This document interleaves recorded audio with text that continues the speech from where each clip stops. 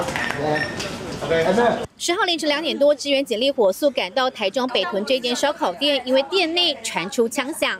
来到烧烤店消费，竟然为了抢麦克风起口角，而嫌犯竟然持空气枪直接朝对方脸上射击。红衣男子躺在担架上，手捂着脸，表情痛苦，送往医院治疗。生意聚餐欢唱，竟然会被开枪送医，家属赶紧通知其他亲友。被人家开枪，还要用空气枪，还好不是真枪，真枪我们就直接再就到殡仪馆就好了。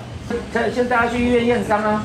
二十多岁陈姓男子脸部被空气枪打中，双方在店内大打出手。冲突原因是另一桌五十多岁王姓嫌犯疑似不满他占用店内麦克风，愤而开枪。这麦我们都是轮流的，会问说是谁的歌这样，可能麦是在他们那桌，然后他就说什么人家长麦。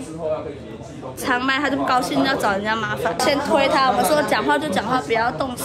他就拿枪开他的脸。如果今天是真枪的话，我表我侄儿就被打死。有两人在拉扯，以及多人在劝架。由于场面混乱，警方立即采取强势作为，对尚在拉扯的民众使用辣椒水，以迅速控制现场。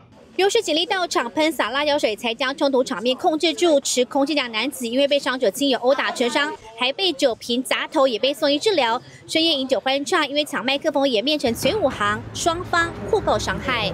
记者黄俊林事情提出报道。立刻下载“静新闻 ”App，一手掌握新闻时事，尽善尽美，尽好新闻。